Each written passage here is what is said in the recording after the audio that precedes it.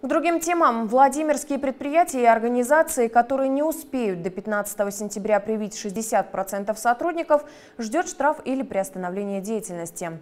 Накануне Роспотребнадзор распространил постановление главного санитарного врача Владимирской области.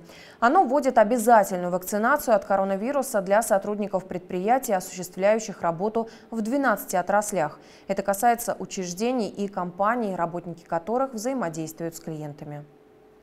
В документе указывается, что работодатели обязаны до 15 августа привить не менее 60% сотрудников первым компонентом вакцины, а до 15 сентября – вторым компонентом. Глава Роспотребнадзора мотивировал такое решение тем, что в регионе складывается неблагополучная ситуация по коронавирусу.